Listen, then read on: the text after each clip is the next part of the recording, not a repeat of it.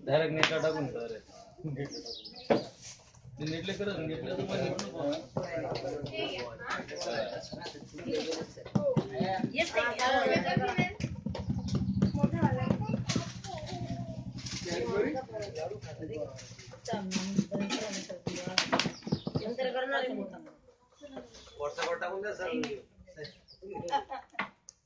बबी.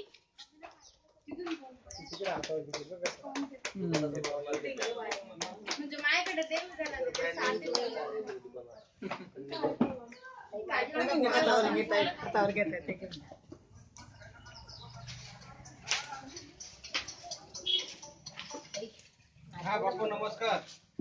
बोला तुम्ही बोला बोला. पोळ्यांचं असं मत आहे एक आखाजी दिवशी आपण पित्र घालावं लागतो ना नैवेद्य करावं लागतं ना.